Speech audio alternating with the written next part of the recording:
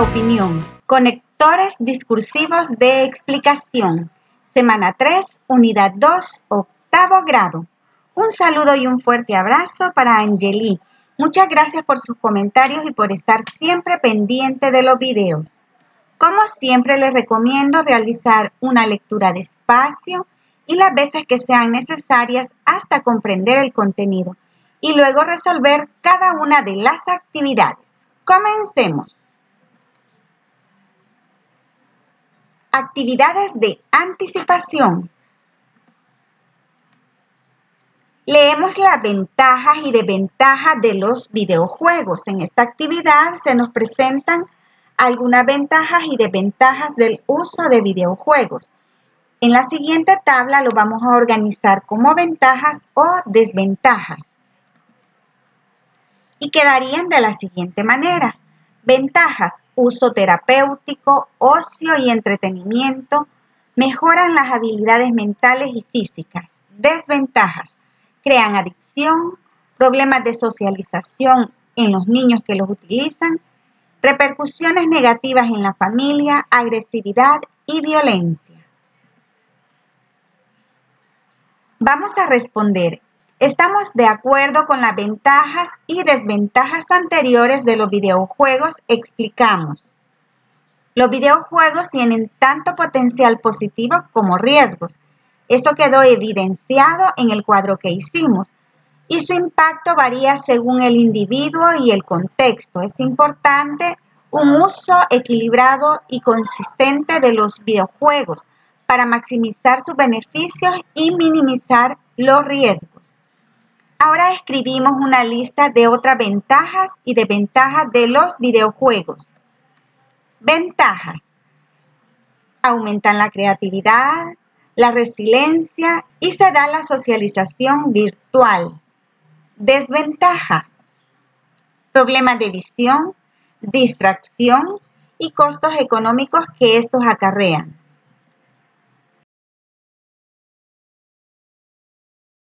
Actividades de construcción.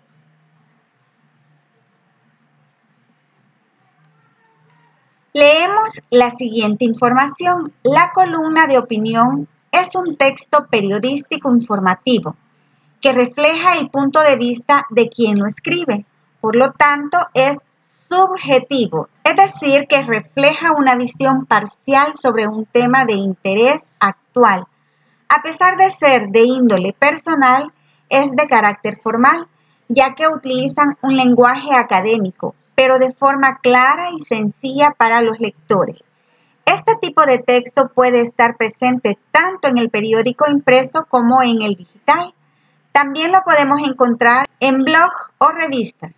Su publicación es de manera periódica, por lo que tiene un espacio preestablecido en el medio en el que se publica. No lo encontramos en medio de la sección de noticias. Veamos ahora las características. Favorece la libertad de expresión ya que es subjetivo. Aborda temas de interés colectivo. Responde a la realidad actual. Utiliza un lenguaje académico. A continuación se nos presenta la estructura de la columna de opinión. Tenemos la introducción. Esta presenta el tema o tesis a desarrollar de una manera atractiva para los lectores. Luego se nos presenta el desarrollo que contiene los comentarios, valoraciones, argumentos y ejemplos del autor sobre el tema o ideas planteadas en la introducción.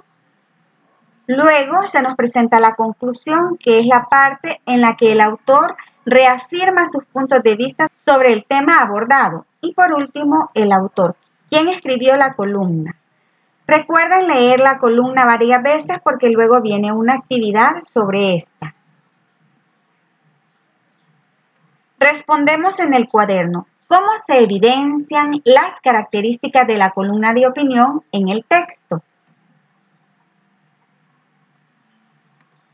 Y tenemos la primera, favorece la libertad de expresión.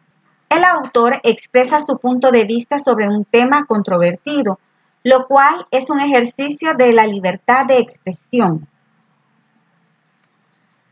La característica 2 aborda temas de interés colectivo. La preocupación por la difusión de información falsa y el uso ético de la tecnología son temas que afectan a la sociedad en general. Tercera característica, responde a la realidad actual. El texto se refiere a eventos recientes y a debates contemporáneos sobre la inteligencia artificial.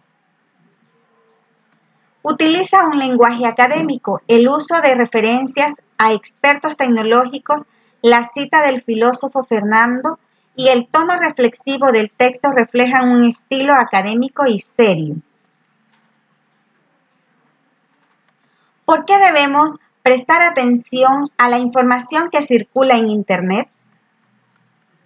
Porque necesitamos verificar la veracidad, el impacto social, la educación y ciencia que está presente en ellos, seguridad y ética y la responsabilidad individual. ¿Cuáles son las semejanzas y diferencias entre la humanidad y la inteligencia artificial? Semejanzas, el aprendizaje, la resolución de problemas y la adaptabilidad. Ahí hay explicación de cada una de ellas. Diferencia, conciencia, creatividad, flexibilidad cognitiva, ética y moralidad. ¿Por qué es importante distinguir lo real de lo artificial? La capacidad de distinguir entre lo real y lo artificial es fundamental por varias razones. Protección contra la desinformación, integridad y confianza, decisiones informadas, preservación cultural. El autor está a favor o en contra de la inteligencia artificial, explicamos. El autor del texto parece tener una postura crítica, pero equilibrada, entre la inteligencia artificial. Por un lado, reconoce los riesgos asociados con los deepfakes y la difusión de información falsa potenciada por la inteligencia artificial. Por otro lado, cita al filósofo Fernando para resaltar la importancia de la educación en el manejo de la tecnología. El autor está a favor de la implementación de sistemas de seguridad y regulaciones por la inteligencia artificial, lo que sugiere que no está en contra de la inteligencia artificial, sino preocupado por sus posibles usos indebidos y las consecuencias de no tener un control adecuado. La mención de una pausa en la investigación de sistemas más potentes, el GPT, indica una postura preocupatoria buscando asegurar que la tecnología se desarrolle de manera responsable. El autor aboga por un enfoque reflexivo y educativo hacia la inteligencia artificial, donde la tecnología se ve como una herramienta que si se usa correctamente puede enriquecer la sociedad, pero que también requiere de una comprensión y regulación cuidadosa para evitar abusos y malentendidos. Vamos con la siguiente pregunta. ¿Qué sucedería si la humanidad no puede controlar la inteligencia artificial? Podríamos ver un aumento en la desinformación, la pérdida de empleos y una amenaza a la autonomía y seguridad de las personas. Por ello, es imperativo que se tomen medidas preventivas y educativas para asegurar un futuro en el que la tecnología y la humanidad coexistan de manera armoniosa y segura. Actividad 3. Leemos y resolvemos en el cuaderno. Los conectores discursivos sirven para relacionar ideas en un texto. Establecen relaciones semánticas que ayudan a comprender el significado del texto. Dicho en otras palabras, tiene la función de cohesionar de manera ordenada la información que se requiere transmitir.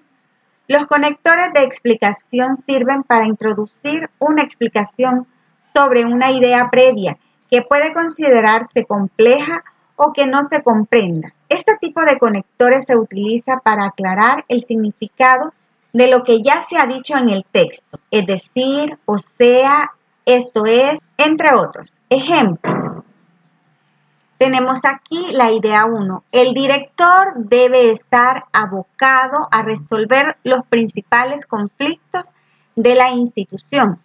En otras palabras, la función principal para la que está designado es la de velar por el correcto desarrollo del centro escolar en todos los sentidos.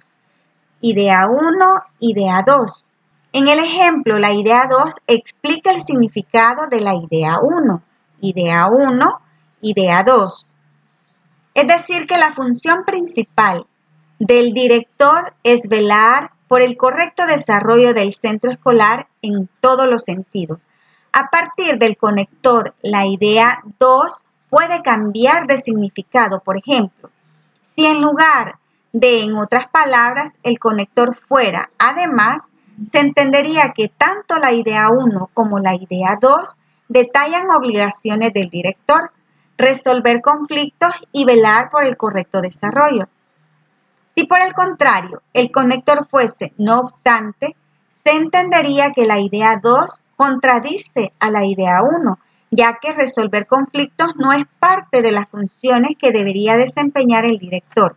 De esta manera se evidencia cómo el conector utilizado condiciona el significado y el sentido entre oraciones o párrafos. Identificamos los conectores explicativos que están presentes en el texto inteligencia artificial amiga o enemiga en la actividad 2. Y tenemos aquí estos conectores, pues, sin indagar, pero no solamente, de manera especial, en otras palabras, según solicitan, entre otros, para quién, es decir, y tenemos la siguiente pregunta. Explicamos cómo ayudan los conectores explicativos a comprender el texto. Estos conectores son clave para estructurar el texto y guiar al lector a través de las ideas complejas que se están presentando, especialmente en un tema tan importante y actual como el de la inteligencia artificial y su influencia en la sociedad. Escribimos un párrafo argumentando si el uso de la inteligencia artificial es amiga o enemiga de la humanidad. Para ello hay que utilizar conectores de explicación. Y aquí tenemos el ejemplo.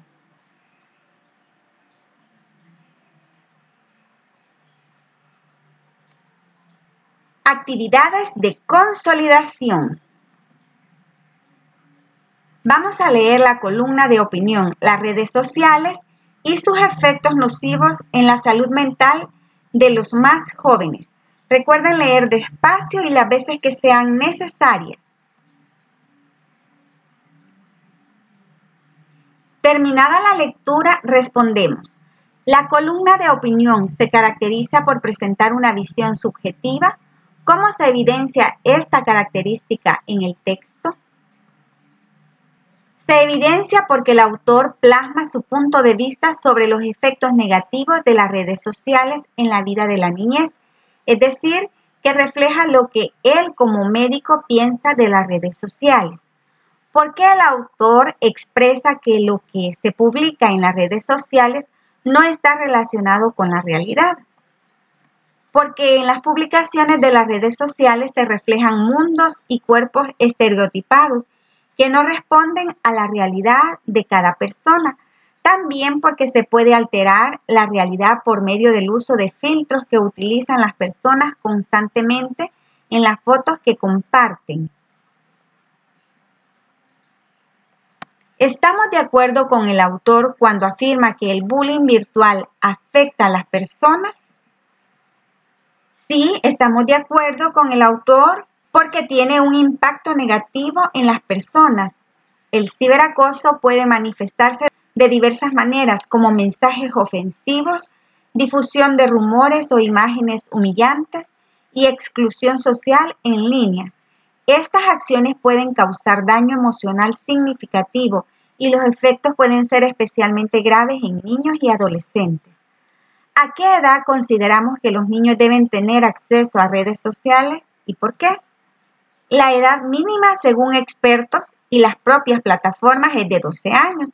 Sin embargo, más allá de la edad mínima legal, La decisión sobre cuándo un niño debe tener acceso a las redes sociales debe basarse en su madurez individual, la comprensión de las responsabilidades y riesgos en línea y la supervisión y guía continua de los adultos responsables. ¿Cómo podemos evitar que las redes sociales afecten nuestro bienestar? Para proteger nuestro bienestar en las redes sociales, es crucial establecer límites y usarlas conscientemente, limitar el tiempo de uso, personalizar el contenido que consumimos y evitar compararnos con los demás. Son pasos importantes. Es beneficioso fomentar interacciones reales y tomar descanso para disfrutar de la vida fuera de las pantallas. Cultivar intereses y pasatiempos fuera de la red practicar la gratitud y buscar apoyo profesional si es necesario. También contribuyen a un equilibrio saludable entre la vida digital y real. Actividad en casa. Vamos a compartir lo que aprendimos eh, sobre la inteligencia artificial y las redes sociales. También hay que realizar una investigación para escribir una columna de opinión Puede ser de redes sociales, videojuegos, educación, inteligencia artificial, entre otros. Solo se va a investigar una temática y luego se va a desarrollar. En este caso, voy a dar mi propuesta sobre el piano, que va a incluir historia del piano, evolución y diseño, influencia en la música moderna, beneficios de aprender a tocar piano, pianistas famosos, esto terminamos el desarrollo de este contenido. Que tengan un bonito día.